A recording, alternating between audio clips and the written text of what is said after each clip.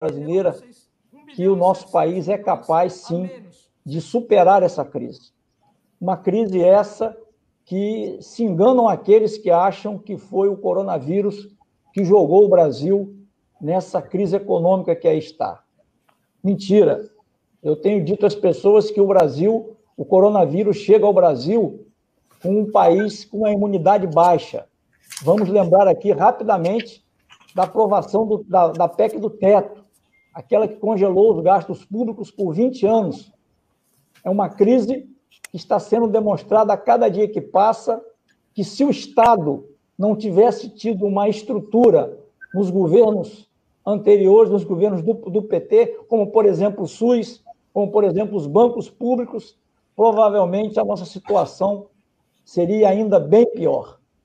E também dizer que, lamentavelmente, a nossa empresa, a Petrobras, a maior empresa desse país, poderia estar, atuando de uma maneira decisiva para ajudar o Brasil a superar essa crise. Mas, infelizmente, por uma ação deliberada de desmonte da, da, da Petrobras, numa ação antinacional, é, a, a Petrobras está se apequenando nesse, nesse, nesse momento. Aquilo que deveria ser um motivo de orgulho para todos nós, que foi a descoberta do pré-sal, que foi pensada como que nós iríamos transferir as riquezas do pré-sal para a sociedade brasileira. Lamentavelmente, é, hoje nós estamos, a, o governo atual está entregando a nossa soberania para o capital internacional. Eles, através de uma farsa chamada Lava Jato, eles destruíram toda a nossa indústria nacional de óleo e gás. Eles acabaram com a lei da partilha. E meus companheiros David, Sibeli, a Miriam, a Fafá se lembram da nossa luta enfrentando o, o agora denunciado depois de 10 anos, José Serra, quando ele apresentou o PLS 131, que acabava com a lei da partilha. E nós estivemos lá, lutamos e conseguimos minimamente fazer com que a Petrobras tivesse a preferência. Hoje, as, todas as grandes construtoras do país elas estão simplesmente acabadas. Nós não temos mais nenhuma, nenhuma grande construtora com capacidade de atuar. E aí eu quero aqui finalizar a minha fala e dizer que a atual direção da FUP que assume, ela tem desafios que são fundamentais. Primeiro é a luta pela democracia no nosso país. O país hoje, ele namora de mãos dadas com o fascismo. Então nós temos que lutar pelo restabelecimento da democracia no nosso país. E lutar pela democracia significa lutar, sim, pelo restabelecimento político do senhor Luiz Inácio Lula da Silva. Agora, esses, esses caras que deram o golpe, eles ainda fazem artigos no Globo que é hora de dar perdão ao PT. Ora, quem tem que pedir perdão são eles que deram o golpe. São eles que geraram esses milhões de desempregados que voltaram ao Brasil para o mapa da fome, jogando o nosso país numa aventura. É, é desafio da FUP, sim, lutar pelos, pelos direitos da classe trabalhadora que foram é, simplesmente aviltados desde o momento do golpe, com o governo Michel Temer e agora com o governo Bolsonaro. Cito aqui a reforma da Previdência, reforma trabalhista, aprovação da terceirização em todos os setores e, obviamente, que a defesa da nossa empresa, a Petrobras. Essa é uma tarefa que nós temos que ter, e eu tenho certeza, David, que você e toda a direção que foi eleita no dia de hoje vão cumprir essa missão. E aí eu passo para a Cibele para que ela também faça a sua saudação e fale um pouco mais da Petrobras e da Lava Jato no cenário atual. Grande abraço a todos e todas e vamos juntos. Viva a FUP e viva a classe trabalhadora. É, boa tarde. Queria, é, né, presidente Lula e ministro, lembrar alguns dados aqui, né? Porque não é à toa, não é à toa que eu tô com aquela camiseta no fundo, Lula. A gente sabe muito bem o que representa. A gente sabe muito bem no que representou a sua prisão. E nós, petroleiros e petroleiras, inclusive, levamos para a categoria em assembleia aprovar que reconhece que a, prisão sua, do Lula, era uma prisão política. Porque nós sabemos o que está em jogo.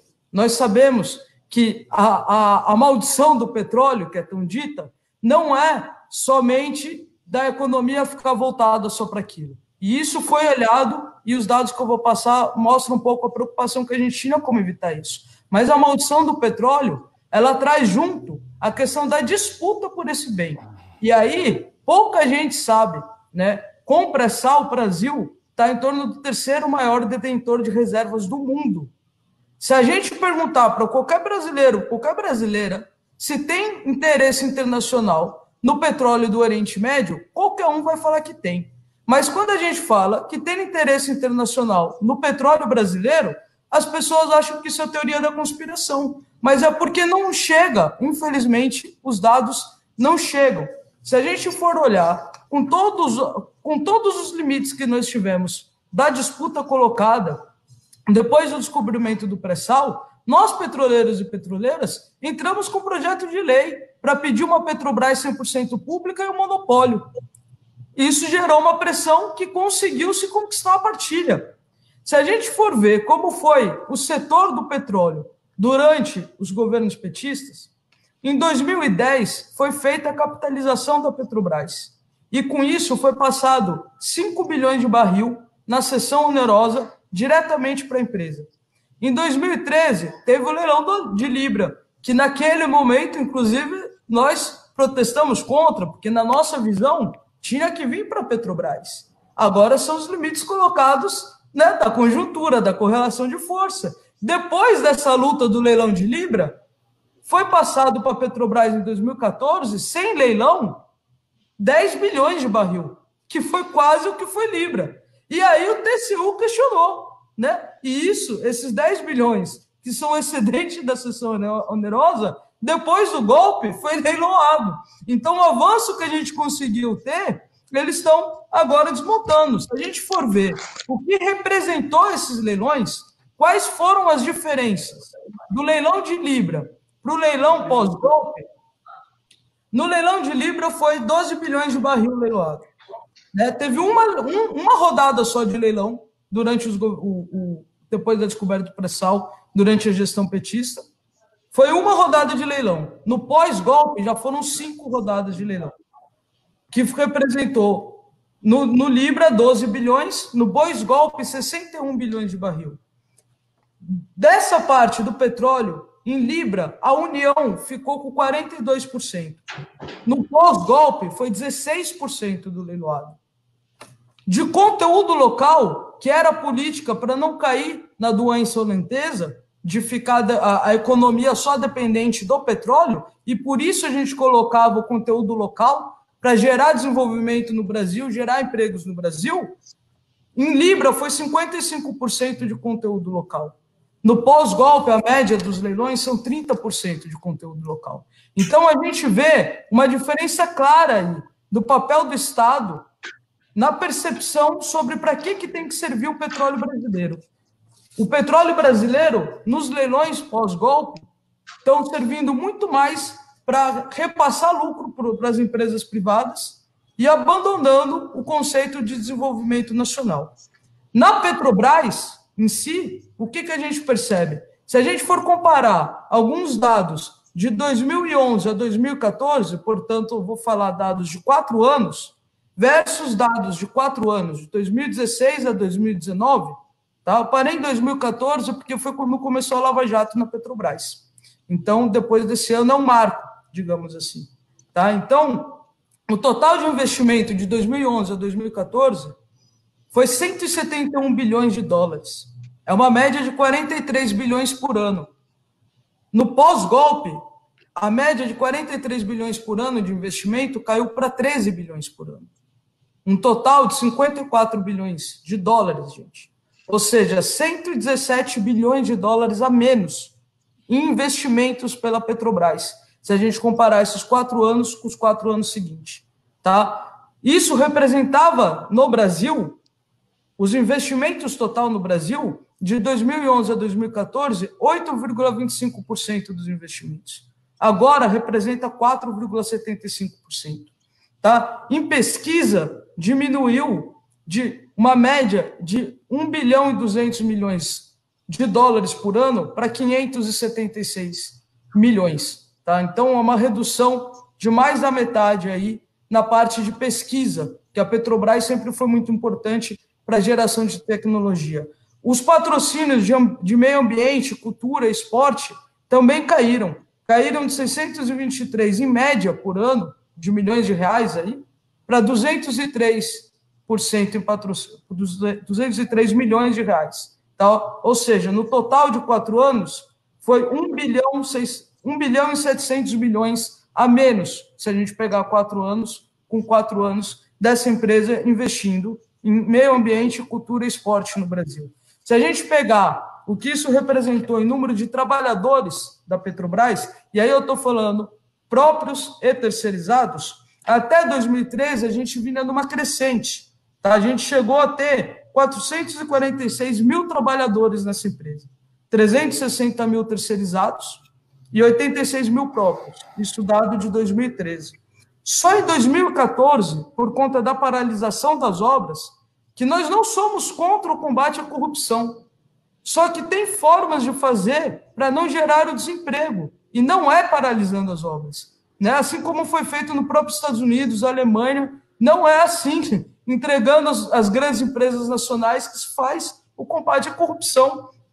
Só em 2014, é, reduziu 69 mil terceirizados na Petrobras e 6 mil próprios, através de programa de incentivo foi 75 mil demissões só em 2014. Se a gente for comparar de 2013 para hoje, são 285 mil trabalhadores a menos na Petrobras. E se a gente pegar a previsão do plano de negócio, que era até 2015, a previsão daquele plano de negócio, se tivesse continuado os investimentos, isso tem uma pesquisa feita pela Federal do, do, do, do Rio de Janeiro, geraria um milhão de empregos para além do sistema Petrobras, porque você aquece toda a economia em torno. Então, nós estamos falando, sim, de uma empresa que eles precisavam parar para dar é, o clima, para dar sustentação do golpe que foi feito em 2016. Agora, além desses dados, né, Miriam, nós, trabalhadores e trabalhadoras petroleiras, sofremos muito com isso. Né? Os trabalhadores e trabalhadoras e o povo brasileiro também tem pagado esse preço. Daí, Miriam, vai complementar. Bem, boa tarde, então, todos e todas, ministra, presidente Lula. Bem, dando continuidade, então, né, à palavra da, da Cibele, essa mudança na visão da, do papel da Petrobras promovido no pós-golpe, né, no golpe, é, trouxe impactos imediatos para os trabalhadores e também para a população. Na população, o impacto imediato foi a mudança na política de preços de combustíveis, né, que faz uh, o povo brasileiro pagar preços internacionais, não só preços internacionais, paridade de preço de importação Quer dizer que o povo brasileiro está pagando pelos combustíveis o valor que é produzido lá nos Estados Unidos, mais todo o custo para trazer até o Brasil e internalizar. Isso é o que o povo brasileiro começou a pagar a partir de 2016 e que deu os efeitos que deu, como, por exemplo, a greve dos caminhoneiros e etc. Para os trabalhadores, a Cibele já demonstrou ali a questão na redução dos números de trabalhadores, mas é importante a gente ver que os, para os trabalhadores que permaneceram no sistema, em especial os trabalhadores terceirizados, que foram os primeiros a sofrer, a, a redução nos salários foi drástica, de 50%, de 30% a cada troca de contrato que ocorre nos contratos de rotina ou alguns outros contratos de parada de manutenção, os salários dos trabalhadores terceirizados vêm sendo achatados drasticamente. Já com relação aos trabalhadores próprios, é, a empresa tem feito uma sistemática de ataque, né, desde lá no, com uma gestão Temer. Nós já tínhamos dificuldades, né, Pedro Parente, já tínhamos dificuldades de negociação, mas com a gestão Bolsonaro, é, toda aquela, aquela vontade intrínseca de impor as suas vontades, de retornar aquele, aquela prática da ditadura, né? Nós que entramos na Petrobras pós 2002, né? Eu entrei em 2007. Eu sempre percebia uma gestão ainda muito hierarquizada, pouco democrática e que aos poucos a nossa geração foi é, derrubando, né? Foi enfrentando e conseguindo mudar um pouco a cultura. Mas isso sempre ficou intrínseco. E agora, com essa gestão bolsonarista, aqueles mais arraigados nessa prática antidemocrática estão conseguindo colocar as suas garras de fora e estão a, aplicando medidas unilaterais, estão retirando direitos, não negociam mais com os sindicatos. Então, com essa gestão pós-Bolsonaro, os sindicatos não têm mais negociação com a empresa. A gente faz algumas reuniões, mas não existe uma negociação efetiva. Tanto que o ano passado, durante a negociação do acordo coletivo, nós fomos para uma mediação no TST e foi numa mediação no TST que foi resolvida a questão do acordo coletivo. Passou o acordo coletivo, a empresa continuou suas arbitrariedades. Então, reinterpretou cláusulas do acordo coletivo, retirou direitos, que foi desgastando os trabalhadores, né? E culminou com o absurdo que foi a hibernação, né, o fechar, praticamente o fechamento da fábrica de fertilizantes nitrogenados no Paraná, com a demissão de 396 trabalhadores próprios e cerca de 600 trabalhadores terceirizados. E com isso, nós iniciamos no dia 1 de fevereiro uma greve. Uma greve que foi muito grande, foi muito forte, porque nós realmente precisávamos dar uma resposta para essa política bolsonarista, né, uma, essa política completamente antidemocrática da atual gestão da Petrobras. Uh, então, como resultado dessa greve, né, mais uma vez fomos para uma mediação, porque apesar dos 21 dias de greve, não conseguimos abrir mesa de negociação com a empresa. A companheira Sibério, o companheiro, companheiro David Bacelar estavam acampados numa sala, né, numa sala lá do Edise, buscando essa, essa, essa negociação, mas ela nunca ocorreu. Ocorreu no TST. Uma das medidas da negociação no TST, presidente, ministra, é que não poderia haver punições aos trabalhadores que fizeram a greve de forma pacífica, né? É um direito nosso fazer a greve. Mas, no, no que iniciou a pandemia, terminamos a greve, logo em seguida a pandemia tomou conta do nosso país, no que iniciou pan essa pandemia, a empresa já veio aplicando ah, sanções, demissões, com algumas demissões, suspensão, advertências, mas o que mais nos chamou a atenção foi ela ter aplicado demissões em plena situação de pandemia em trabalhadores que se manifestaram de forma totalmente legítima e pacífica durante a greve. Então, né, essa toda cada, cada instante que passa, essa gestão mostra como está alinhada a cartilha bolsonarista e tira maldades da, da cartola, né? Durante a pandemia, uh, em vez da empresa se concentrar em tomar ações para evitar que, a, que o vírus é, se proliferasse dentro da, das instalações, ela focou em quê? Em retirada de direitos. Lançou um plano de resiliência só com foco em retirada de direitos dos trabalhadores, reduzir salários, é, enfim, uma série de, de, de, medidas. E uma das, que, uma das medidas que a gente considera mais uh, preocupantes nesse período foi justamente com relação aos trabalhadores das empresas contratadas, né, os trabalhadores terceirizados. A Petrobras determinou que empresa contratada que não trabalha não recebe, né? E com isso, os trabalhadores terceirizados foram obrigados a ir para dentro das instalações trabalhar durante essa pandemia, quando deveria ser exatamente para proteger a saúde dos trabalhadores, para proteger a vida dos trabalhadores, deveria se fazer o caminho contrário, né? E por fim, em meio a toda essa pandemia, tivemos uma crise do petróleo, estamos num cenário extremamente de, de incertezas, né? E se antes as medidas, né, as privatizações, da forma com que estavam, estavam sendo feitas, já eram criminosas, já colocavam a empresa numa situação de, de fragilidade, agora que nós estamos num cenário completamente incerto, o que vai ser o setor petróleo a partir dessa pandemia? O que serão as economias mundiais a partir dessa pandemia? Então, como pode uma empresa do porte da Petrobras continuar fazendo privatizações exatamente da mesma forma com que ela estava fazendo antes dessa mudança de cenário, né? Então, se antes já era criminoso e preocupante, agora continua sendo mais é, preocupante e criminoso. Por isso, agora eu passo a palavra para a companheira Fafá para continuar falando dessas, dessa política, então, de privatizações e de desmonte que essa gestão Castelo Branco, alinhada com o governo Bolsonaro, continua praticando. Obrigada.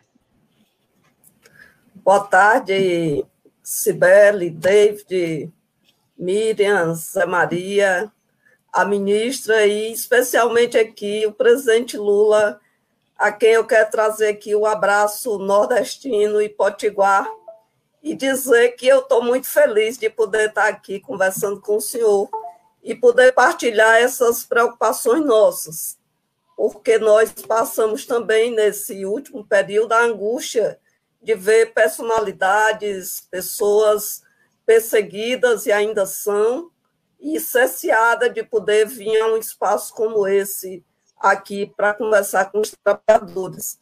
Então, eu queria retomar aqui não apenas o tema da Petrobras, presidente, mas esse cenário que a gente está vivendo. Veja só, há uma singularidade nesse momento que é você proteger a vida quando a ciência não tem uma medida, uma resposta eficaz, mesmo a gente estando aí na já sobre a regência de uma quarta revolução tecnológica, onde a medida mais segura é o distanciamento social, que confronta toda a conformação do mundo econômico.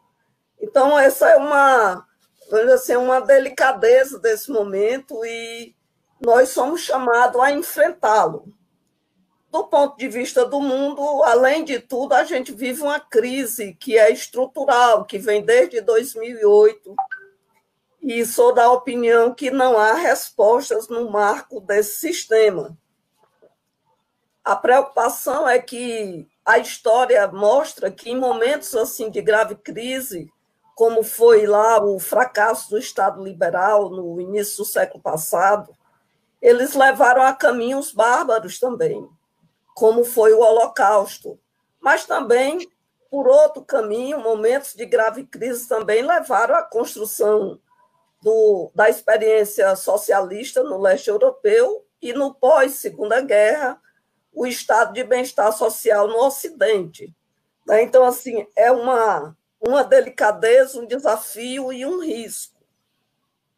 A pandemia ela já nos encontrou na crise, ela apenas agravou. No Brasil, companheiro Zé Maria já mostrou aqui, a gente está ano uma tragédia. O mundo vai acumulando aí um milhão, meio milhão de mortos já, as perspectivas da economia para o próximo ano é de uma queda no, no PIB mundial da ordem de 5%, o que vai agravar ainda mais as tensões entre as nações e as dificuldades do povo, o desemprego e a exclusão.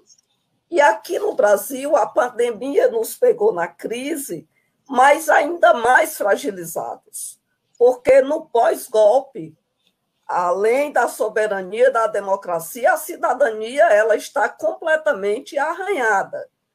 A, a medida provisória, depois transformada em lei, que congelou os gastos públicos, reduziu a atenção do Estado.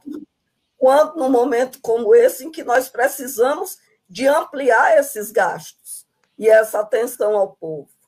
A reforma trabalhista precarizou as relações de trabalho, reduziu o direito e mais. Diminuiu, relativizou a importância das pactuações coletivas, como a Cibele e a Miriam aqui já relatado no caso da Petrobras, que acontece para todos os trabalhadores.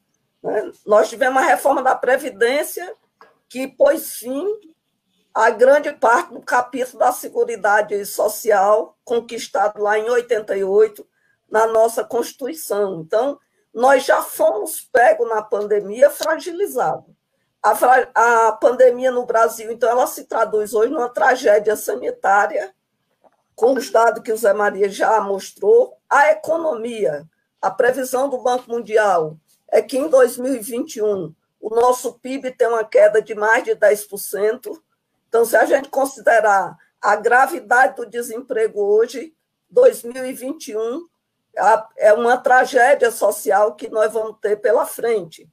Enquanto isso, o governo federal, completamente desqualificado, insensível, descomprometido com o povo brasileiro e com a vida, com a preservação da vida, tem sido o principal obstáculo para as ações de preservação da vida. Inclusive, a, a Miriam aqui deu um relato. Se a gente for olhar, o governo se aproveitou da pandemia, por exemplo, para retirar a Petrobras do Nordeste, para privatizar a água, para pôr em velocidade todas as medidas que comprometem a soberania nacional e o vender o patrimônio brasileiro. Então, essa é a tragédia social que nós temos pela frente.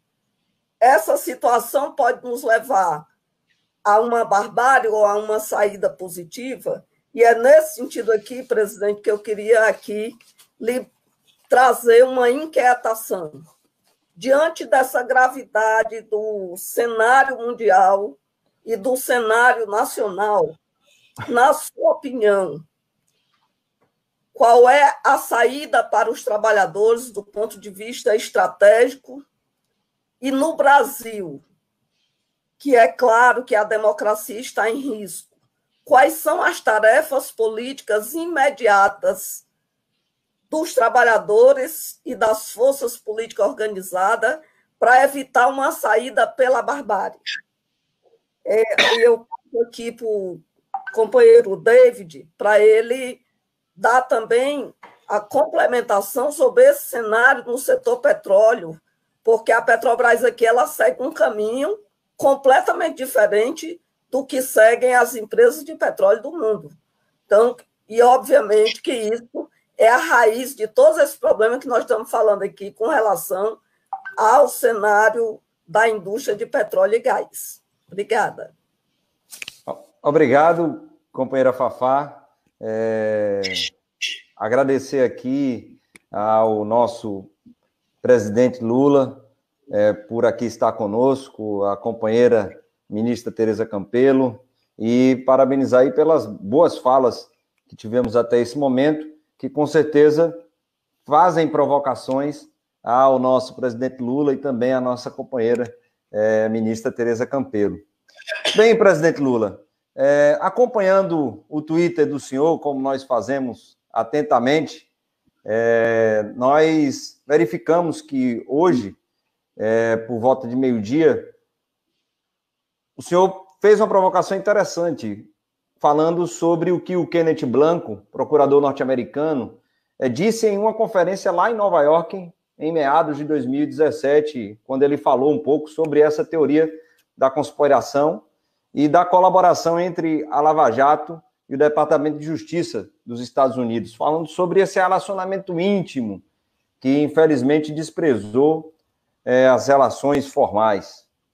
E antes de trazer essa provocação aqui para o senhor, é, lembrar aqui esse processo de transferência que o Zé Maria fez desse mandato para um outro, era ter dito isso aqui no início.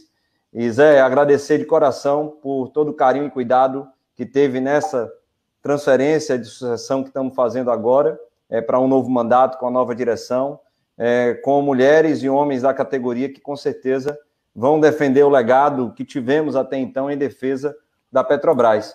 E, presidente Lula, agradecer especialmente ao senhor, porque se estou na Petrobras, no concurso realizado em 2005, foi por conta das oportunidades que o senhor me deu e deu a milhares de jovens que fizeram concursos públicos nesse período.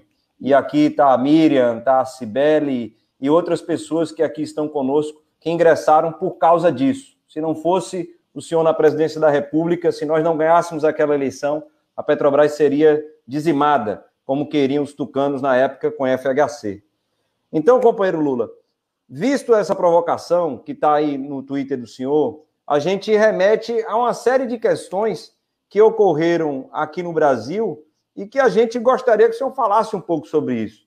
Porque o que ficou explícito para nós é que essa Lava Jato, ela se engendrou em processos gigantescos de espionagem industrial, de lobby, de negociatas, que caracterizaram um movimento grande das operadoras estrangeiras, primeiro para reduzir a participação da Petrobras no pré-sal, e agora a gente está vendo, de forma escancarada, para acessarem diversos recursos da Petrobras aqui no Brasil.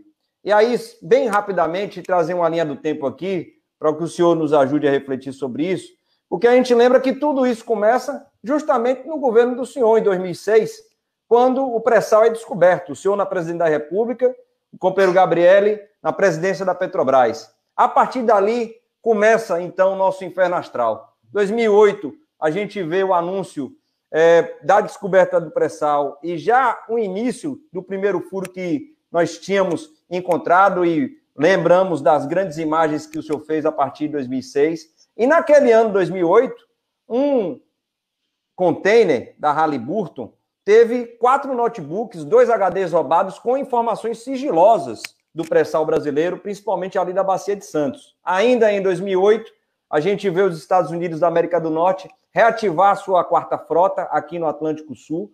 Em 2009, a gente tem uma conferência sobre lavagem de dinheiro no Rio de Janeiro, onde reuniu integrantes da Polícia Federal, do Ministério Público, infelizmente com vários nomes da República de Curitiba, do Judiciário e autoridades do governo norte-americano, inclusive uma embaixadora que era especialista em crises políticas e que envolviam ações com relação a movimentos sociais. E o próprio Moro estava presente em 2009 nessa conferência. Em 2010, tivemos aquelas eleições truncadas e disputadas entre a companheira Dilma e o Serra, e lembrando que os Wikileaks colocaram para todo mundo ver o que o Serra prometeu para a Chevron, dizendo que iria entregar sim o pré-sal brasileiro para a Chevron. Conversa que está exposta entre ele aí e a Patrícia Padral, que é uma executiva da Chevron, onde ele disse: Deixe esses caras do PT fazer o que eles quiserem. As rodadas de licitações não vão acontecer. E aí nós vamos mostrar a todos que o modelo antigo, ou seja, de concessão, ele funcionava e nós mudaremos de volta. Ele disse isso em 2010. E aí nós avançamos na linha do tempo e vamos para 2011 e 2012, onde a gente vê a sanha das grandes, dos grandes países que detêm reservas e produção de petróleo, como Estados Unidos, China, França, Noruega, pelo pré-sal brasileiro pela busca de novas fronteiras exploratórias, porque as fronteiras antigas que se disputavam por guerras não se tinha mais. Então eles tinham que vir aqui para o Atlântico Sul disputar a partir da compra de, diversos, de diversos atores da política nacional. Em 2013, a gente lembra, e todo mundo aqui assistiu o filme do Snowden, Snowden, onde o Snowden revela, através de documentos, que havia espionagem da companheira Dilma Rousseff de alto, dos altos escalões do governo federal brasileiro e espionagem da própria Petrobras. Snowden já estava falando isso lá em 2013. E nesse mesmo ano, companheiro e presidente Lula, eles mudam a embaixadora aqui no Brasil, trazem para cá para o Brasil a Liliana Ayad, conhecida por ter atuado lá no Paraguai, ajudou no golpe do Paraguai, participando ativamente das movimentações que derrubaram o presidente Fernando Lugo e intensificar, então, a reversão liberal conservadora na América Latina, trazendo-a para o Brasil e fazendo com que nós tivéssemos as jornadas, famosas jornadas de junho de 2013. 2014, a gente, então, presidente Lula, tem a deflagração da Lava Jato. Depois de tudo isso, depois dessas entranhas estarem sendo abertas a partir de todas essas movimentações. E a Lava Jato, infelizmente, se inicia com a criminalização do projeto de desenvolvimento que nós tivemos aqui no país, baseado no ativismo das estatais, inclusive da Petrobras, como polo para avanço industrial da tecnologia no nosso país. 2015, muito por conta da Lava Jato, a gente tem uma estabilidade política e econômica gigantesca e, infelizmente, temos a disputa pesada da Dilma com a Aécio, onde se estabelece toda a instabilidade que ela teve durante seu governo. Na época, estava no Conselho de Administração e lembro-me bem de tudo isso dentro do Conselho de Administração da Petrobras. E, infelizmente, nós temos, a partir desse ano, a desaceleração dos investimentos e o início aí de um plano para privatizações futuras. Com o golpe de Estado, então, em 2016, a gente tem um fim da operação única da Petrobras e a gente tem a ampliação das privatizações, principalmente agora com a eleição da família apoiada por milicianos, terraplanistas e fundamentalistas religiosos, que tem um fantoche coordenado, infelizmente, por parte das Forças Armadas no governo federal brasileiro. E tudo isso, companheiro e presidente Lula, demonstra que essa postagem do senhor ela está corretíssima lá no Twitter, porque é verdade tudo aqui, essa linha do tempo que a gente trouxe, demonstra perfeitamente, sim, que há um relacionamento íntimo, desprezando os procedimentos formais da Lava Jato com o Departamento de Justiça norte-americano e, por tabela, com o imperialismo norte-americano. E a gente gostaria muito, presidente Lula, que o senhor pudesse também falar sobre isso aqui para a categoria e para as pessoas que estão nos acompanhando nesse exato momento. Dessa forma, Passo aqui a palavra para a companheira, a nossa ministra, a Tereza Campelo, também é, fazer a sua colocação. Obrigado, David. Um, um, orgulho, uma honra muito grande estar aqui com vocês hoje, com o presidente Lula. Cumprimentar a todos, Zé Maria, Cibele, Miriam, Fafá, e você, David, cumprimentá-lo pela, pela por estar assumindo hoje essa missão e essa tarefa num momento tão estratégico. É impressionante, né, presidente Lula, como acho que os petroleiros e as petroleiras, como mais do que qualquer outra categoria no Brasil, consegue montar essa linha do tempo, consegue ter essa compreensão do que veio acontecendo, né, desde o do, do processo de golpe contra a presidenta Dilma e o que, na verdade, já vinha por trás sendo forjado nessa construção da Lava Jato. Então, é muito importante conseguir ter essa noção geral de que, na verdade, o que foi colocado em risco e foi destruído, está sendo destruído nesse país, é um modelo de desenvolvimento que olhava desde a questão da soberania estratégica que envolvia a questão da Petrobras, até o combate à pobreza e o começo de um processo mínimo de distribuição de renda que acontecia no Brasil. Então, é verdade, como disse o Zé Maria, que o Covid não é o causador da tragédia que nós estamos vivendo hoje no Brasil. Ele vem e atinge o Brasil, talvez no pior momento da sua história, e no momento onde a gente já tinha desemprego crescente, o país estagnado e um desmonte gigantesco das políticas públicas, né, do Sistema Único de Saúde, da assistência social, do conjunto da rede de proteção. Então, quando a gente olha o que aconteceu no Brasil, né, e compara com o que aconteceu no resto do mundo, eu acho que dá para a gente ver claramente três atitudes, até porque nós já estamos há sete meses né, convivendo com o Covid. Tem países que tentaram salvar as vidas, né, salvaram as vidas, e muitos deles já estão, inclusive, retomando as suas atividades. Né, muitos investiram, salvaram empregos, salvaram as pequenas empresas. Outros países tentaram salvar a economia, perderam muitas vidas. Né, e o Brasil não, não apostou em nenhuma dessas duas frentes. Né? O Brasil não só não tentou salvar as vidas, como não salvou a economia.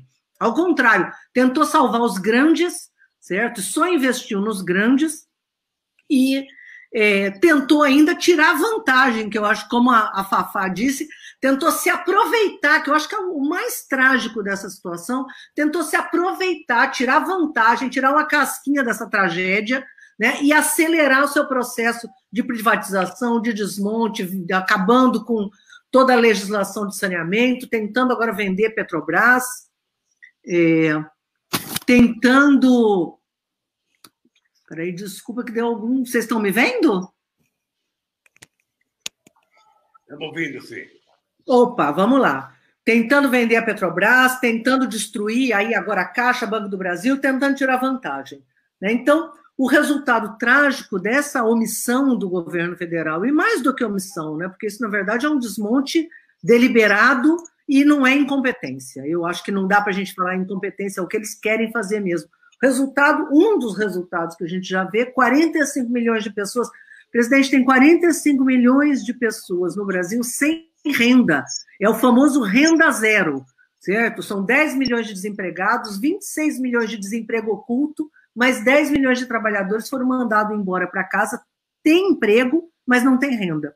Se não fosse a renda básica emergencial que nós lutamos para implementar no Brasil, se a gente não tivesse lutado contra o governo Bolsonaro, que não queria fazer nada, na verdade, acabou dando os 200 reais, dizendo que ia dar, as oposições entraram, lutamos, conquistamos aí os 600 reais, o governo atrasou, foi negligente mais uma vez, tem gente que está começando a receber agora, né? e agora nós estamos frente à possibilidade de mais dois meses de auxílio emergenciais, emergencial incluindo esse mês, e acaba tudo. São 45 milhões de brasileiros adultos que vão, e suas famílias, portanto, muitos outros milhões, sem renda alguma. Então, nós tivemos, presidente, até por sua sugestão, numa conversa agora grande, envolvendo todo, todos no Congresso, delegados, convidados, fazendo uma discussão do, do, envolvimento dos companheiros do movimento sindical também nessa luta para como enfrentar essa agenda. É uma agenda que a gente tem que enfrentar do ponto de vista de retomar a soberania, de retomar um modelo de crescimento econômico, que não basta só lutar por renda básica emergencial, mas também de garantir solidariedade e construção de um caminho de luta para que a gente possa ter uma renda permanente no Brasil e que passa, na nossa avaliação, por reconstruir, né, por avançar, né, ampliando a rede de proteção que já existe no Brasil. O governo Bolsonaro, junto com Paulo Guedes, mais uma vez tenta tirar vantagem. Que, que eles estão tentando fazer, presidente? O senhor sabe melhor do que todos nós disso. Estão tentando pegar, dizer que vão criar uma renda básica, criar o tal do Renda Brasil, que na verdade esconde o quê? A destruição do Bolsa Família, a destruição do Farmácia Popular, que distribui remédio para doente crônico, a destruição do Fundeb, a destruição do abono salarial, e de outros benefícios, né, como o seguro-defesa e assim por diante. Então, nós estamos frente a mais um processo de desmonte que vai atingir fortemente a população pobre, e aqui te contamos aí, nessa, nesse debate que nós fizemos durante essa atividade nossa no Congresso da FUP, construindo também uma agenda de solidariedade e avançar aí é, numa, num processo não só de resistência, como de luta para a gente retomar o crescimento no país, garantir e salvar a Petrobras e os investimentos das nossas empresas públicas, mas também garantir que o processo de distribuição de renda avance e que a gente não fragilize ainda mais a população pobre. Então, parabéns a vocês que assumem hoje, parabéns a todos os petroleiros, petroleiras, e vocês são um orgulho muito grande para nós no Brasil, que tiveram à frente né, dessa luta toda no processo de resistência. Parabéns, muito obrigado.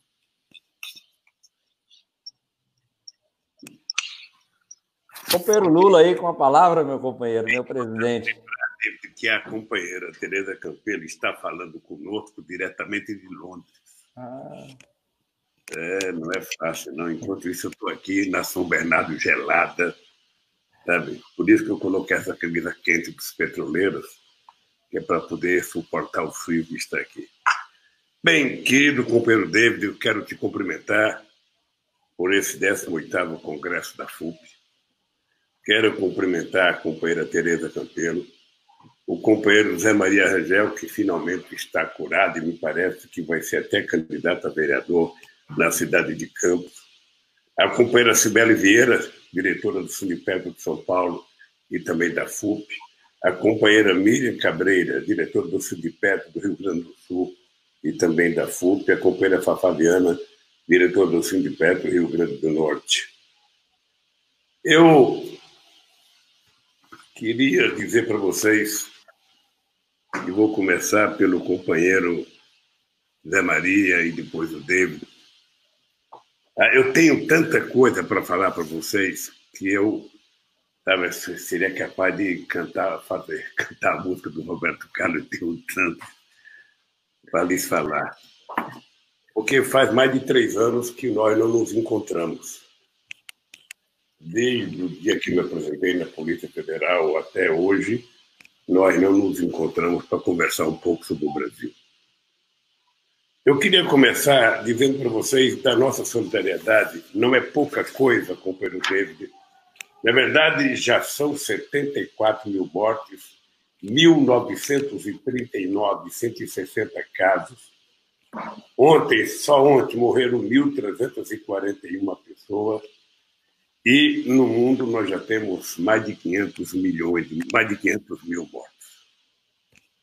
Eu queria começar prestando solidariedade, ou seja, expressando a nossa solidariedade às pessoas que foram infectadas, às pessoas que têm familiares que morreram, uh, e dizer que tudo isso só aconteceu por causa da irresponsabilidade de alguém que, estando no cargo de presidente, que deveria ser o maestro de uma equipe que pudesse discutir como evitar a corrosão da sociedade brasileira pelo coronavírus, resolveu brincar com a sociedade brasileira, resolveu brincar com o coronavírus e resolveu disputar, na verdade, com a sociedade brasileira e com os especialistas, uma narrativa. Na medida em que o presidente da República diz que essa doença só mata velho, diz que essa doença é uma gripezinha, e diz que pessoas que, como ele, não vão pegar, agora pegou. E dizem que pessoas que, como ele, ou seja, têm que voltar a trabalhar porque é preciso que a economia funcione, sem dar garantia às pessoas que vão voltar a trabalhar, porque as pessoas que vão voltar a trabalhar precisam ter certeza que não vão ficar doentes no seu local que é uma das pessoas mais infectadas, e, e, e dentro da própria empresa os empresários que ficam fazendo pressão para os prefeitos estarem a trabalhar não dão um atestado de garantia para as pessoas que eles querem que trabalhem de que as pessoas não vão pegar o coronavírus. Ninguém, ninguém dá um atestado de garantia.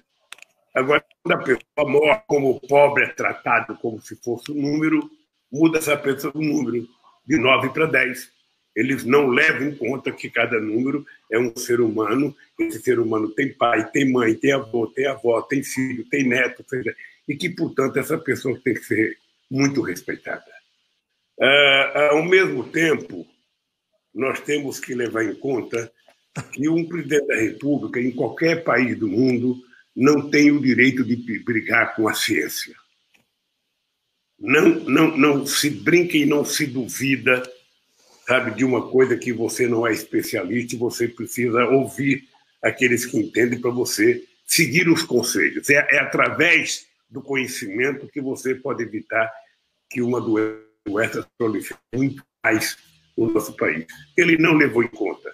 Não existe médico, não existe ciência, uh, não existe uh, uh, nem, nem os governadores que criaram o consórcio do Nordeste para trabalhar juntos para tentar tornar a atividade dele não só mais economicamente, mas mais ágil também.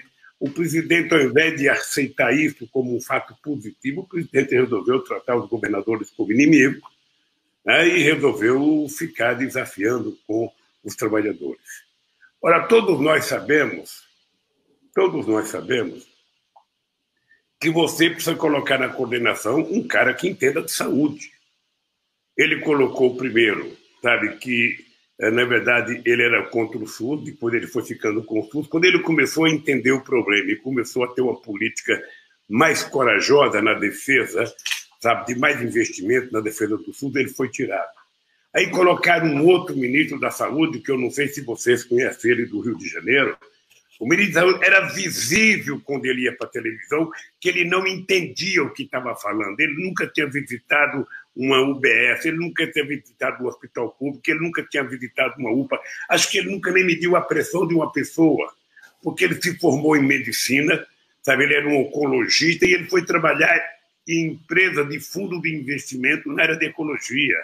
Era visível que ele não entendia, sabe, de doente, de paciente, muito menos de coronavírus ficou um mês e agora colocou um general. Eu não sou nada contra você ter um general. Eu, pelo menos, tinha na presidência um médico que era um coronel, que era uma figura extraordinariamente competente. Não, mas ele colocou um general que não entende de saúde, E ainda ficaram bravos com o ministro João Mendes quando disse que o Exército pode estar contribuindo com o genocídio provocado pelo Bolsonaro. E o Gilmar está certo. O Gilmar não culpou o Exército. O Gilmar disse que o Exército, participando do jeito que está participando, sem cobrar, sem cobrar comportamento adequado do presidente da República, vai contribuir com os erros do presidente da República. Essa é a mais pura verdade que diz. E eles se ofendem.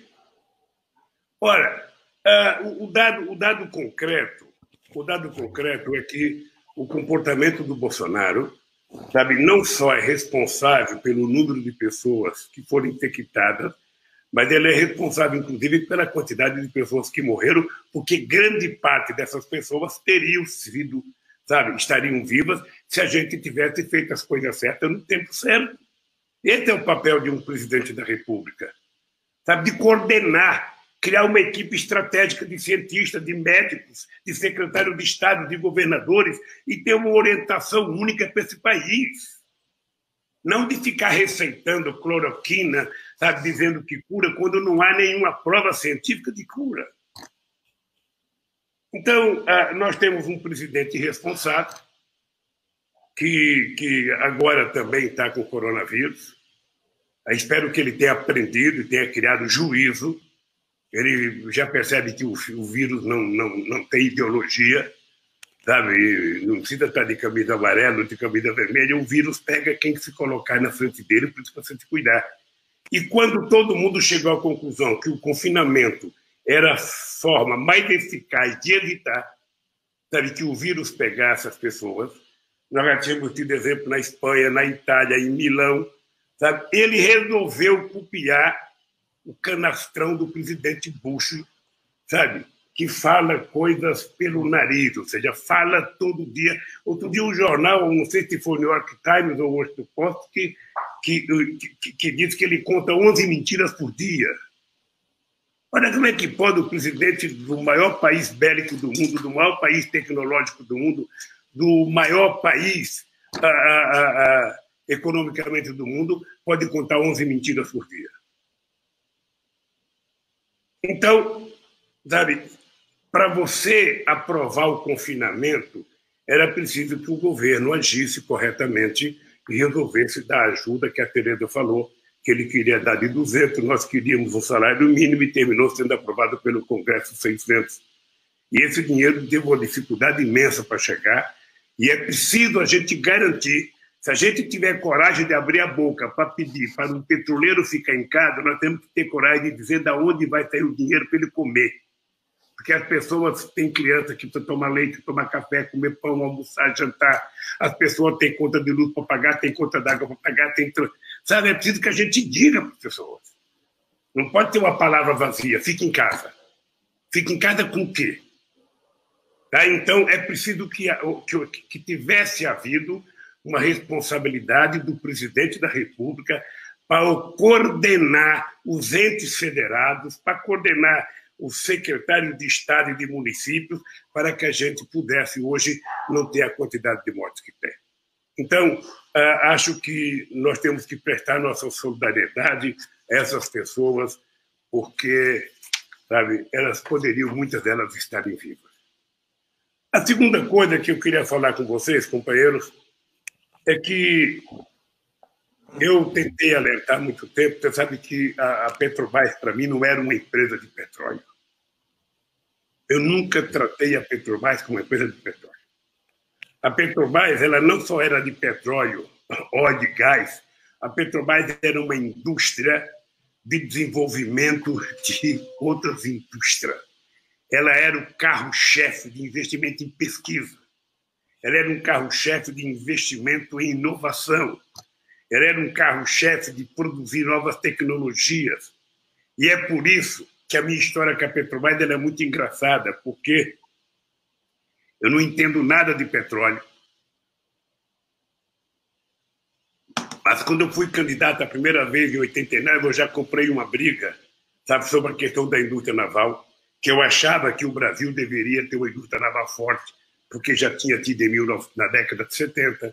Eu achava que o Brasil deveria voltar a produzir petroleiros aqui no Brasil para que transportasse, que a gente não deveria ter um déficit na balança comercial de transporte de 10 bilhões de dólares, que a gente poderia produzir aqui, gerar emprego aqui, gerar tecnologia aqui. E nós só vamos conseguir provar isso, sabe, quando eu ganhei as eleições de 2003. Não pense que foi fácil.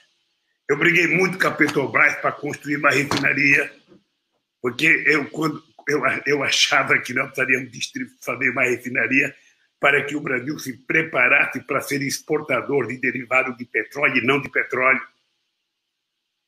Então, ah, eu tenho orgulho, eu tenho orgulho da minha relação com a Petrobras. Tenho orgulho, profundo orgulho.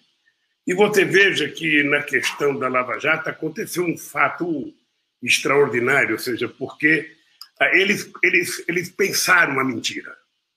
Eles pensaram uma mentira. Seja, a força-tarefa da Lava Jato, o Moro, que era o conluio, a Rede Globo de televisão, porque era preciso ter alguém em escala nacional que pudesse dar veracidade à mentira. Tá? Então era preciso desmoralizar, desmoralizar, sabe, o outro lado. Então, para que pudesse desmoralizar a Petrobras, para que pudesse desmoralizar os petroleiros, para que pudesse atender aos interesses dos americanos em desmontar a lei da partilha que nós fizemos, sabe, era preciso desmoralizar alguém. E desmoralizar o PT. E tirar Dilma. E tirar Dilma para quê?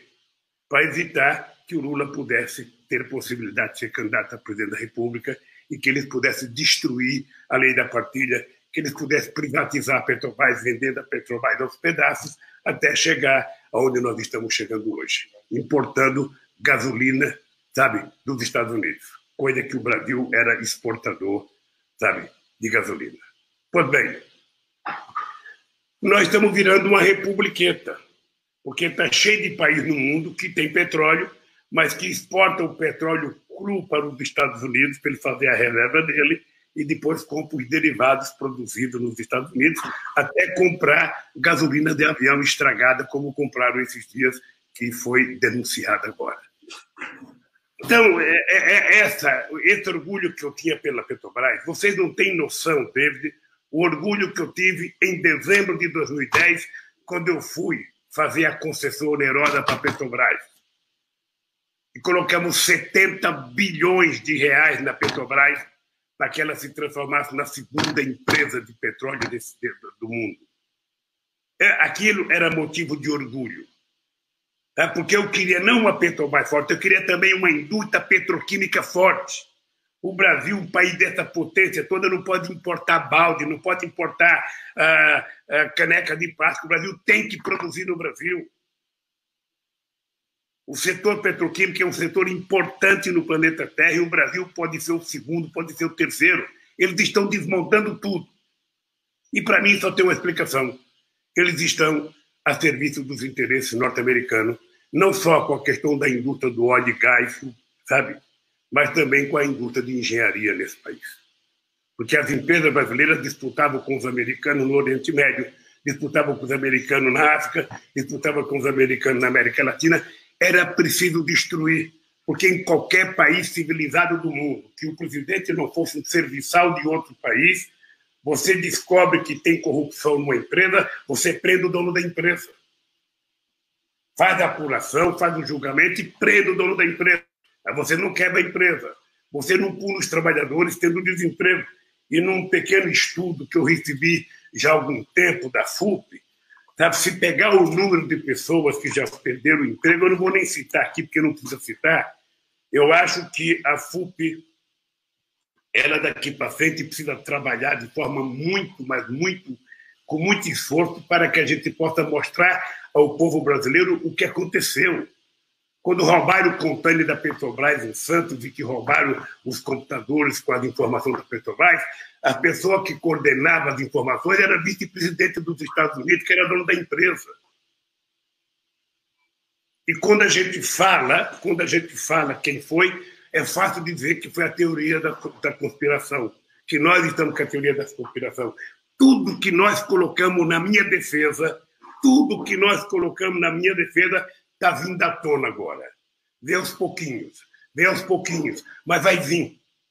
É por isso, companheiro Zé Maria, que eu, no dia 7 de, de, de setembro, ou dia 7 de abril de 2018, eu resolvi ir para Curitiba me entregar à Polícia Federal.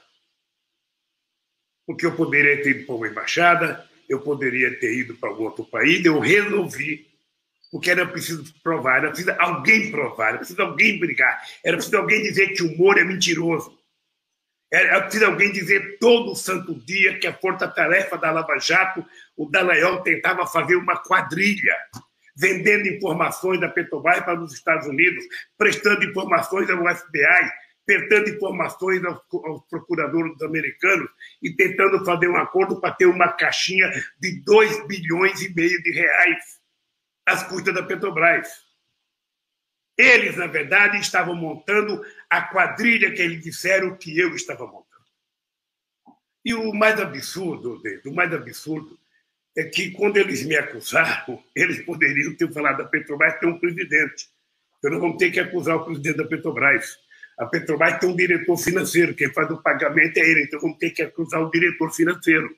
A Petrobras tem presidente do conselho e tem vários membros do conselho, dos quais você foi.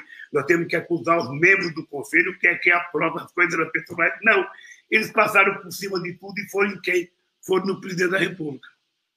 Como se o presidente acompanhasse o dia a dia da Petrobras. Se eles conhecessem a complicação que é a Petrobras, as decisões da Petrobras, eles não tinham falado tanta merda como eles falaram durante esses últimos quatro anos. Então, David, eu, eu estou convencido, estou convencido que esse negócio da Lava Jato é uma história que não termina agora.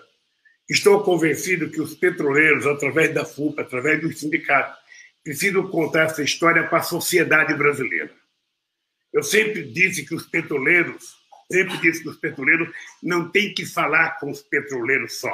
Os petroleiros têm que falar com o país. O Zé Maria prova quantas vezes eu falava, Zé Maria, não produza boletim para os petroleiros. Produza boletim para a sociedade brasileira.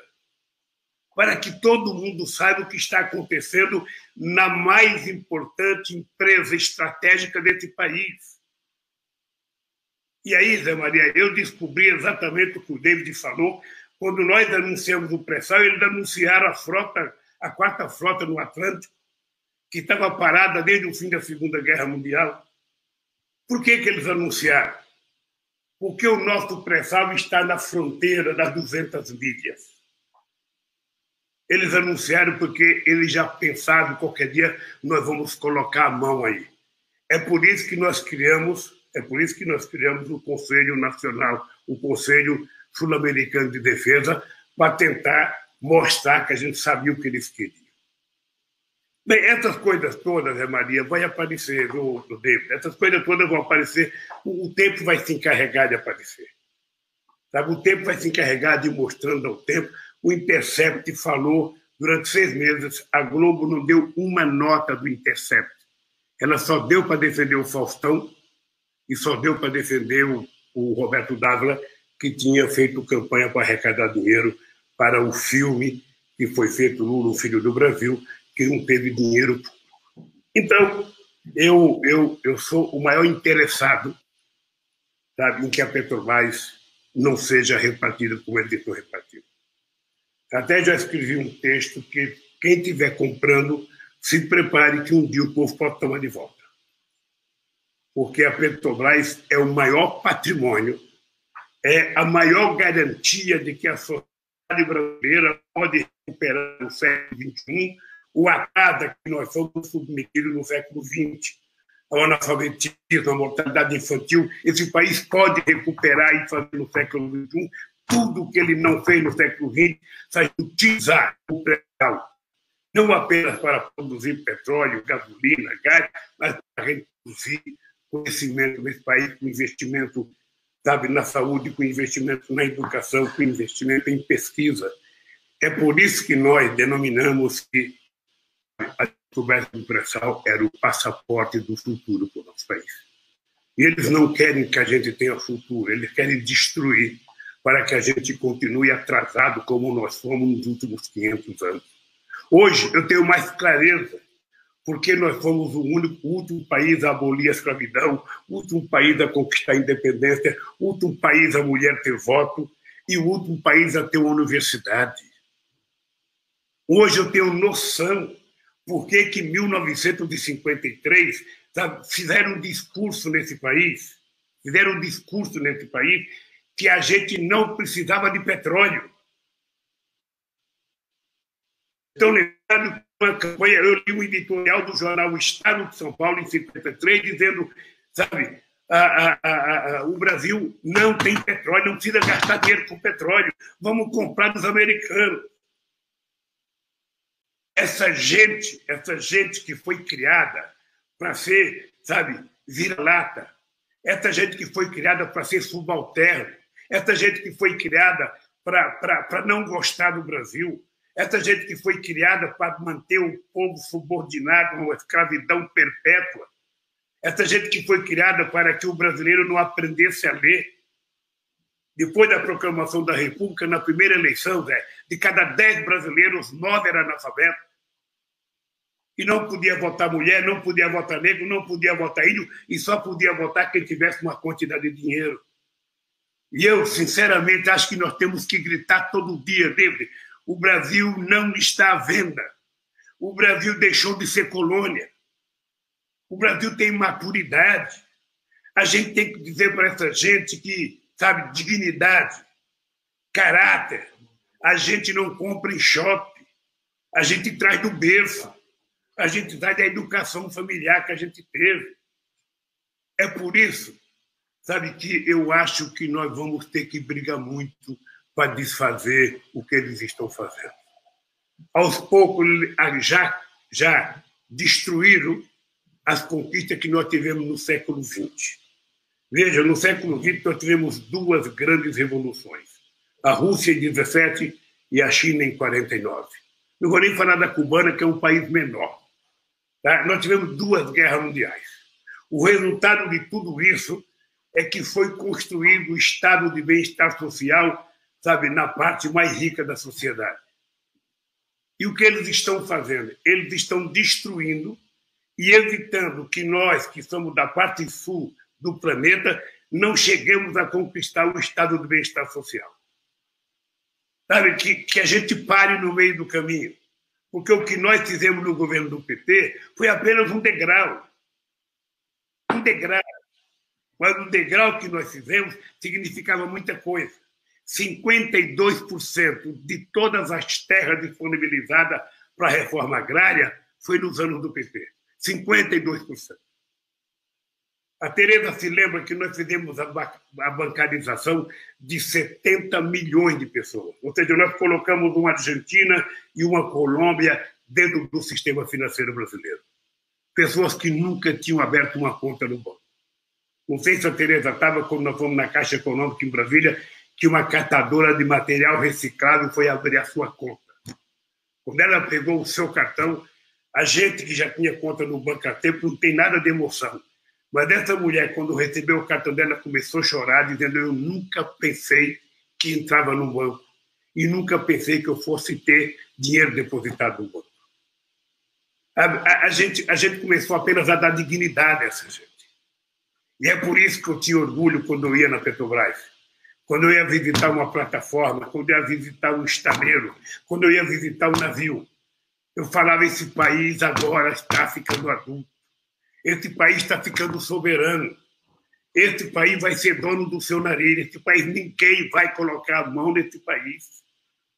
Eu sentia essa sensação, eu sentia esse prazer de ver esse país grande respeitar, esse país crescer, esse ainda acabar com a rua pedindo esmola, a ONU reconhecer que a gente tinha acabado com a fome nesse país, esse país tem aumento do salário mínimo durante todo o período do nosso governo, esse país gerar 20 milhões de emprego, quando a Europa desempregou 100 milhões no mesmo período.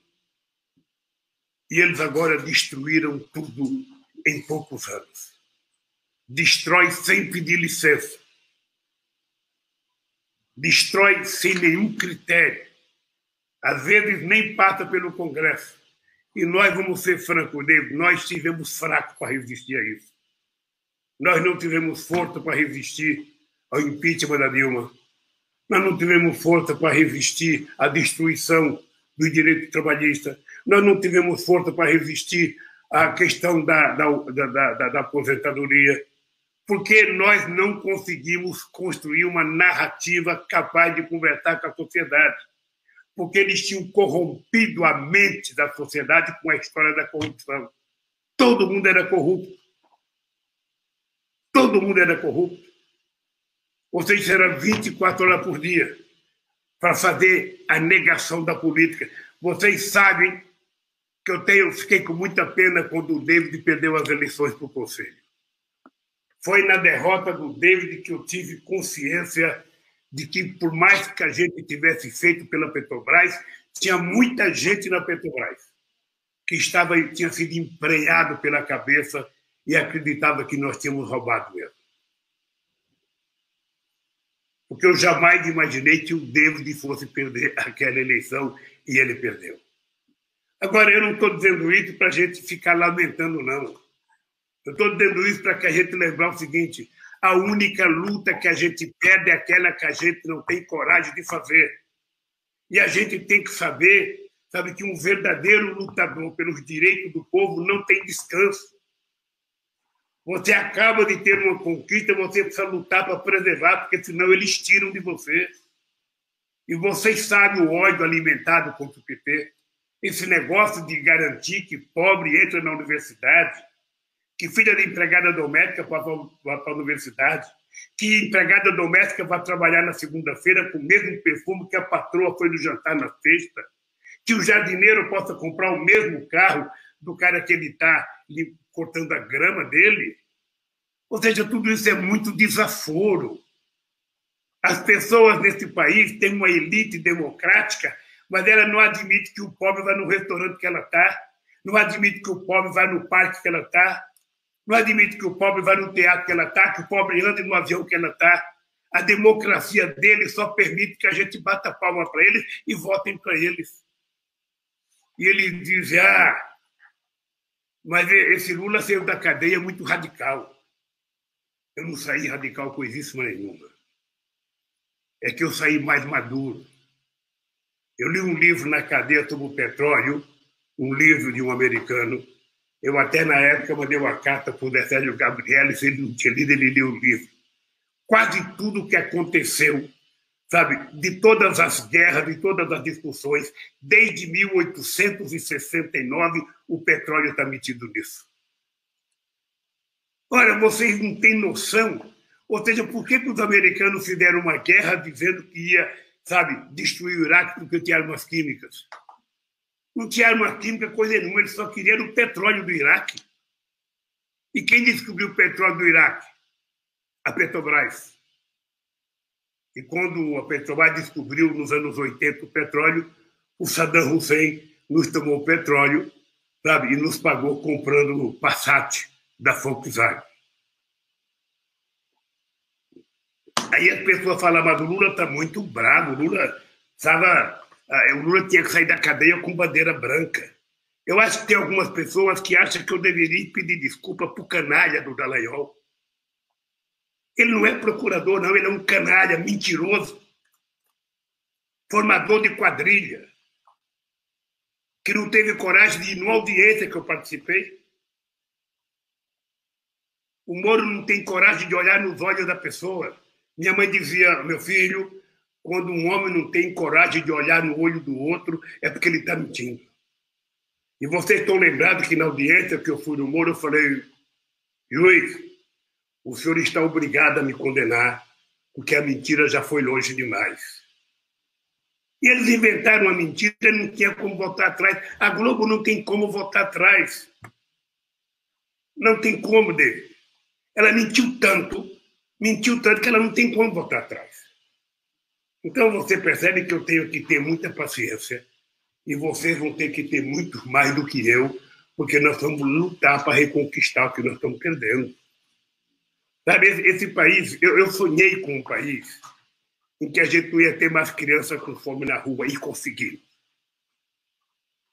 Eu sonhei com um país em que o pobre ia ter casa subsidiada e nós conseguimos, com minha casa, minha vida, dar dignidade às pessoas pobres que não podem pagar 100 reais de prestação.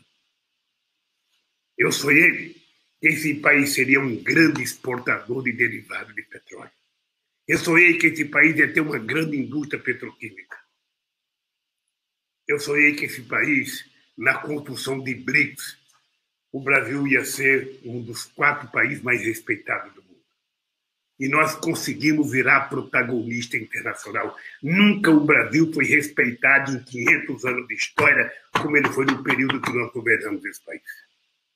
Eles não podiam admitir que um presidente que não falava espanhol, que não falava francês, que não falava inglês, que não falava chinês e mal falava português, eles não admitem que esse presidente tenha conseguido ser mais respeitado no mundo do que eles. Eles não admitem que eu tenha sido o presidente da República que participei de todas as reuniões do G8, menos uma convocada pelo Bush em São Francisco, que participei de todas as reuniões e ajudei, ajudei a criar, organizar o G20 com Bush. Eles não admitem que esse presidente analfabeto tenha dito que sabe, a crise de 2008 seria uma marolinha. O Brasil seria um país a receber, ele seria o primeiro a mandá-lo embora, e aconteceu isso. E se nós estivéssemos governando o país, não é que o coronavírus não tinha chegado aqui. Ele tinha chegado aqui muito mais suave porque se tem uma coisa que nós aprendemos a fazer nesse país é gostar do povo. É enaltecer a necessidade dos mais necessitados. Sabe? Ter, ter preferência no tratamento. Porque esse coronavírus é uma doença para pobre. É só pegar os dados agora que nós vamos ver que mais de 70% das pessoas que morrem são pobres e negros. Então, qual é o azar deles? É que eu estou vivo. Qual é o azar deles? É que eu estou com mais vontade de brigar. Você não tem noção de como eu estou com vontade de brigar. Não sei o que eles vão fazer. Eu sei o que eu quero fazer. Só estou esperando acabar esse coronavírus para colocar o pé na estrada e gritar outra vez nesse país por soberania nacional. Nós precisamos educar o povo sobre o significado da soberania. Eles pensam que a soberania é só a Petrobras brasileira. Não. Ser soberania é mais do que a Petrobras, é não deixar desmatar a Amazônia, é explorar cientificamente a nossa fauna, a nossa flora, é explorar a nossa biodiversidade, os nossos ecossistemas, sabe, cientificamente. É tomar conta da nossa água, não permitir que ela seja poluída, é tomar conta da nossa Amazônia Azul, 7.500 quilômetros quadrados, sabe, de mar, com uma fronteira de 200 milhas. É preciso que a gente invite em ciência e tecnologia, porque tem país no mundo que se desenvolveu sem investir em ciência e tecnologia. Vocês não sabem o orgulho que eu tinha quando eu ia visitar a perspectiva de desenvolvimento da Petrobras com a construção do seu centro de pesquisa. Você não tem noção a quantidade de sonho que eu construí de ver o SEMPES produzir coisas novas, extraordinárias na área de combustível para esse país.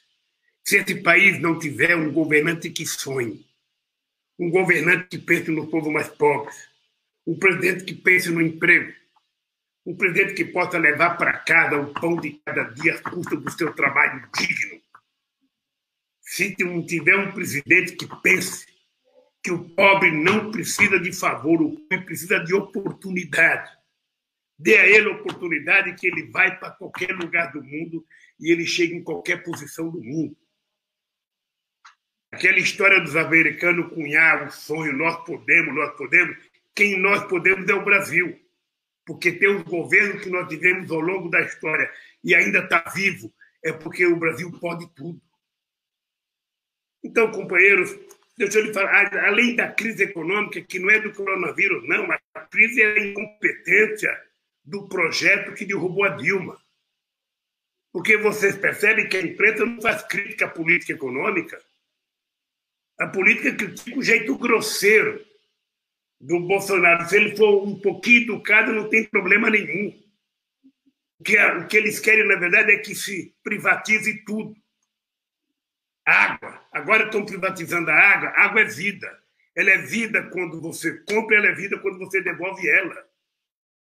Eles estão vendendo, ou seja, vão vender a, a, a, as empresas de energia, querem vender o BNDES, querem vender o Banco do Brasil, querem vender a Caixa Econômica.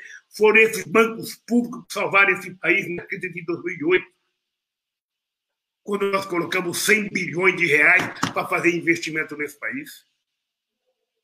Ah, o Brasil não tem dinheiro, tem dinheiro, manda rodar dinheiro novo. E vamos colocar esse dinheiro para cuidar do coronavírus, para cuidar das pessoas. Então, eu, sinceramente acho que nós não podemos nos conformar, nos conformar com o que está acontecendo no Brasil. Sinceramente, eu, eu, eu, eu acho que nós precisamos brigar mais eu pensei que quando eu deixasse a presidência eu ia ficar tranquilo, que eu ia poder descansar, que eu ia poder viver o resto da minha vida pescando, sabe, tilápia aqui na represa Billings. Mas eu já vi que lutar é todo santo dia. Eu já vi que a gente não vive sem lutar. Sabe, todo dia a gente tem que lutar. E é nós que comemos, é nós que temos salário, é nós que temos emprego, é nós que temos um pouco de conhecimento, que temos que ter coragem de brigar por aqueles que não têm. Não, eu, eu antigamente, Tereza, eu acreditava, eu dizia assim, o povo tem que apanhar para aprender, o povo tem que ter fome para aprender. Não, quem tem fome não aprende nada, quem tem fome fica submisso. Sabe? Então, nós precisamos ajudar essas pessoas a estender a mão. E nós temos vocês, vocês, o David, Zé Maria, companheiras, vocês têm que dizer alto e bom som. Sabe, defender a Petrobras é uma coisa de 210 milhões de brasileiros. Defender a Petrobras para quem? Para o povo brasileiro. Para ela continuar descobrindo, fazendo pesquisa. Para ela continuar ajudando a produzir energia cada vez mais, mais limpa para continuar, sabe, a investir na formação dos nossos jovens. É, é isso que nós precisamos fazer nesse país. Então, eu quero terminar aqui dizendo para vocês que eu não esperava chegar aos 74 anos de idade vendo o Brasil sofrer o retrocesso que está sofrendo. Não esperava ver o Brasil com o ódio que está disseminado na sociedade, a negação da política, eu cansei de dizer, quando você não acreditar em ninguém mais, entre você na política, porque o político bom, honesto, decente que você precisa está dentro de você, não está dentro de mim. E eles conseguiram destruir. E nós hoje temos um governo de milicianos. Um governo que não fala uma palavra no livro, uma palavra de desenvolvimento, uma palavra de educação, tudo que ele faz é para destruir. Passando para a sociedade a ideia que o povo tem que comprar mais armas, agora pode comprar fuzil, pode comprar uma metralhadora. O povo não precisa de arma, o povo precisa de paz. O povo precisa de livros, o povo precisa de comida. É isso que esse povo precisa. E é isso que nós temos que ajudar a construir. Por isso, meu caro David, eu estou muito feliz Fiquei muito triste quando você perdeu as eleições no Conselho, mas fiquei muito feliz que você agora vai dirigir a FUP junto com essas meninas, sabe? E dizer aos companheiros petroleiros e petroleiras: eu só tenho 74 anos de idade. Use e abuse, sabe? Use e abuse, sabe? Do velhinho aqui, porque eu estou disposto, mais disposto do que quando eu tinha 30. Esse dia eu disse numa live que eu estou com mais vontade de lutar quando, em 1969, eu entrei no movimento sindical. Eu sei que é possível. Eu sei que a gente pode construir um novo país. Eu sei que a gente pode pagar melhor salário. Eu sei que a gente pode gerar mais emprego. E para fazer tudo isso, o Estado tem que ser o indutor do desenvolvimento.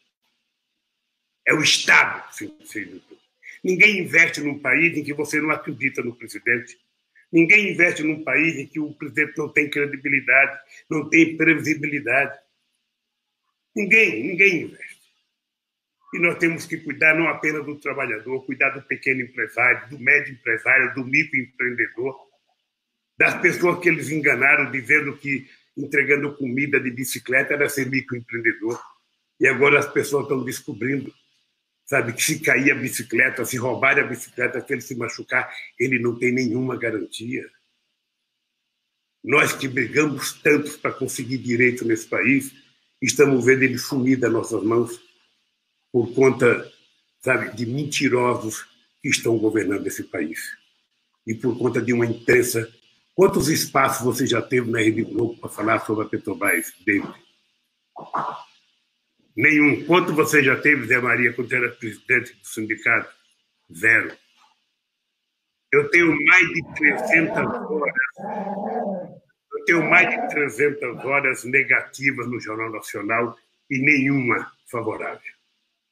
E nem por isso eles nos mataram. O que nós temos, meu caro David, é que acreditar no que a gente está fazendo. Acreditar na nossa resistência acreditar na nossa capacidade de falar. Eu tenho defendido que o precisa aprender a, a, fazer panfleto, a ir para a porta da fábrica, a ir para o ônibus, a ir para terminal de metrô, a ir para estação de metrô, ir para a porta da barca do Rio de Janeiro. Nós precisamos voltar a utilizar o nosso poder de comunicação, a fazer discurso. Quantas vezes eu fiz discurso na barca para construir o PT? Quantas vezes? Quantas vezes eu peguei um avião, andei quatro horas para ir para o Acre para fazer uma reunião com 22 pessoas, com 10 pessoas para construir o PT? E agora a gente está numa comodidade imensa. Não vou ficar em casa vou fazer um alarde com, com os dedos. Não. É preciso a gente andar e olhar nos olhos da pessoa. É preciso sentir, pegar na mão, sentir a caloria, sabe? Sentir o pulsar do coração, olhar nos olhos da pessoa para a gente passar a emoção que ele precisa para ter coragem de lutar. Porque, meu caro, nós precisamos recuperar a importância do movimento sindical no Brasil, porque eles conseguiram destruir. Eles conseguiram tirar a coisa mais elementar do sindicato, que é garantir que o sindicato decida que forma ele vai arrecadar o dinheiro para ser utilizado pela categoria. Até isso eles tiraram. E nós temos que conquistar. Por isso, David, Zé Maria e companheiras, companheiras, deixa eu ver aqui as companheiras, que eu, eu não estou com o nome delas aqui, sabe? Mas eu quero. É que eu não enxergo aqui, porque está pequeno aqui, os nomes de vocês pequenos, mas a companheira, sabe? Cibele Vieira, companheira Miri Cabreira e a companheira Fafá, além da Tereza Campeiro, que volte logo para o Brasil eu quero que vocês saibam que vocês podem contar comigo, sabe que vocês têm um bom congresso, um bom 18º congresso, é muito tempo de, de, existência da FUP, hein? E eu quero que vocês saibam o seguinte, uma das coisas que eu tenho vontade de fazer quando eu sair daqui é ir na FUP fazer um debate com vocês de corpo presente, sabe? Para poder a gente olhar um na cara do outro, porque é olhando no olho que a gente vê se as pessoas estão falando a verdade, se as pessoas estão acreditando naquilo que a gente fala. E aqui, quando o Estuquinha pede para olhar para a cara de vocês, eu tenho que levantar a cara, porque a tela do computador é em cima, e eu não fico vendo vocês, eu fico vendo aqui o papelzinho que ele bate, mas não fico vendo, vendo vocês, e eu fico incomodado de não ver a cara de vocês. Por isso que parece que eu estou de cara baixa. Não, eu estou olhando vocês, acontece que a câmera do computador é um pouco em cima, e para me olhar para vocês na cara, eu tenho que olhar na cara de cada um. Por isso, companheira Cibele, um grande abraço, um beijo e bom congresso. Por isso, companheira Miriam Cordeiro, Miriam Cabreira, um bom congresso. Por isso, companheira Fafaviano, um bom congresso, olhando na cara de vocês agora. E David Zé Maria, que Deus abençoe vocês. Tá?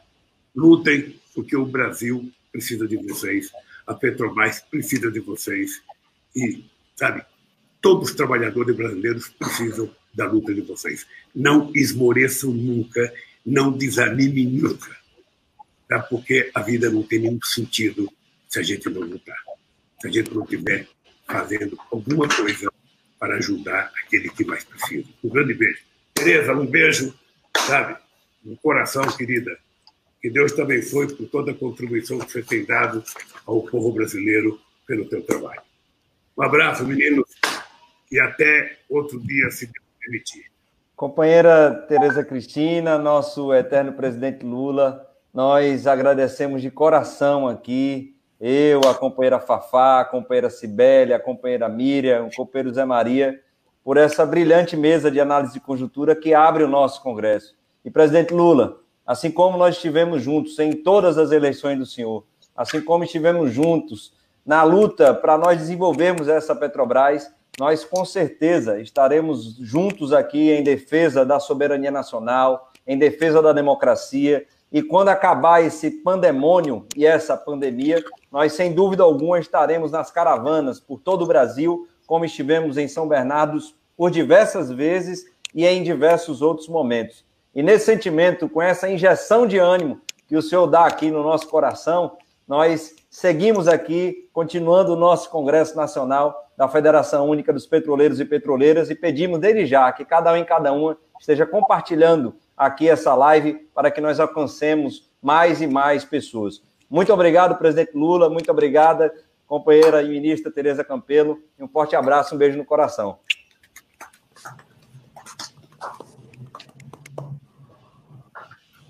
Okay.